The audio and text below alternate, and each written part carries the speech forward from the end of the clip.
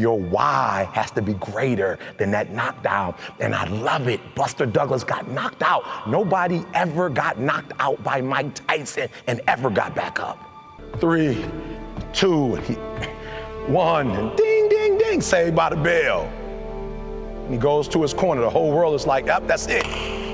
Once he comes back out, that's it. Mike's gonna just hammer him. And exactly that. Mike Tyson came out like, I got him. I got this kid up against the rope. Listen to me, many of you right now, life's got you up against the rope. You can't give up. You can't give in. Listen to me, if it was easy, everybody would do it. And if life's got you backed up, I need you to do what Buster Douglas did. Buster Douglas start fighting back. I don't think anybody watching this video has their backs against the wall, to be honest. I think now in this life we actually have the opposite problem. Nobody got our back against the wall. And the world was shocked.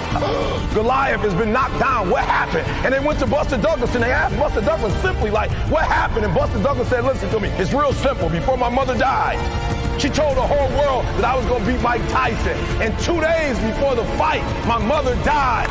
Buster Douglas had, he had a decision to make. When his mother died, he could die with his mother, or he made a decision, I can wake up and I can live for mom. And he knocked Mike Tyson out simply because his why was greater than that punch. His why was greater than defeat. His why was greater than his trial and his tribulation. And I'm telling you, if you don't know what your why is and your why isn't strong, you're going to get knocked out every single day. Do you know, now I'm recording this in 2023, and uh, the war in Ukraine has been going on for almost one year. You know what surprised everybody in the world, including Ukrainians themselves?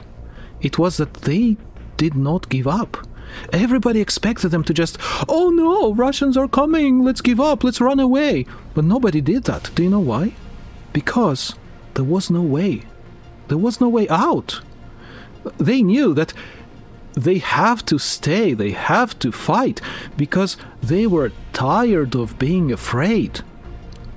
They knew that there is no place to run. They, this is their home.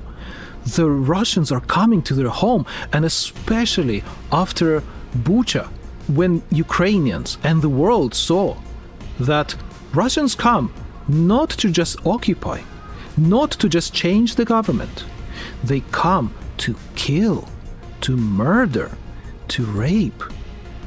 Usual people, it could be your family, and whole families were murdered in their cars running away. There was no more question of whether or not we should give up, whether or not we should sign an agreement. No, there is no more agreement with somebody who wants to kill you. And this is the point it's either your life or the fight. And in the fight, you might lose your life, but you will lose your life anyway if you don't fight. And this is what the point is. If you have a good reason, and the reason has to be strong enough for you to give up your life, if you have that reason, you will not stop. You will not break. You will bend. You will cry. You will get hurt, but you will have to get up. If, as long as you are breathing, as long as you're exist, you will get up and fight. And you will do whatever it takes. Every day, you will do this, you will think about this, you will get one step closer to whatever you are trying to achieve. But that whatever you're trying to achieve has to be as important as your life. So, anyway, guys, that's my take on this. Please let me know what you think about this. And uh, if you like this video, hit the like button. If you didn't like, please let me know how I can improve. Okay? And uh, if you want to develop your resilience, please look at the link in the description and you will see my worksheet that I made for you.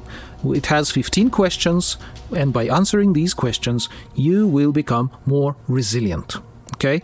If you have hard times, like I had when my son had cancer, those 15 questions would have helped me. But I had nobody to give me those questions. Now, if you are struggling with hard times in your life, get that. It will help you. And I will see you next time.